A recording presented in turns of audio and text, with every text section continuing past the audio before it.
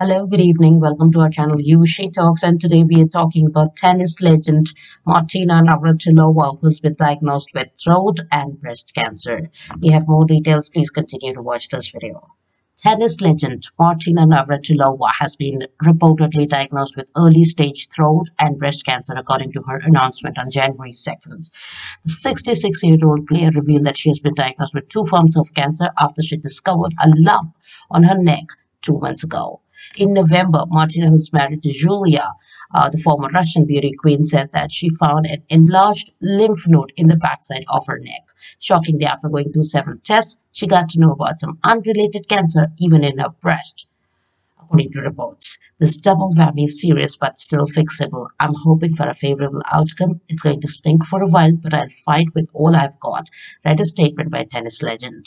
Describing her prognosis as good, the statement read Martina Navratilova has been diagnosed with stage 1 throat cancer. The prognosis is good and Martina will start her treatment this month.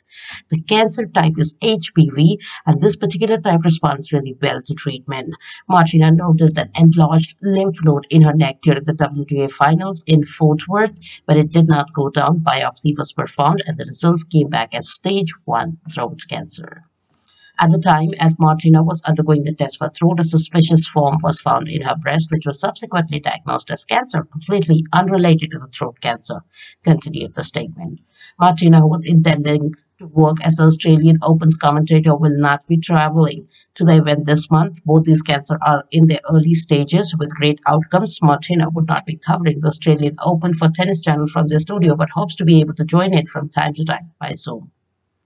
So let me tell you at this point that Martina has been a cancer survivor. Even in 2010, she underwent radiation treatment for early stage breast cancer. Uh, the star is playing, uh, the star player is again battling with the same life-threatening disease that she had 13 years ago.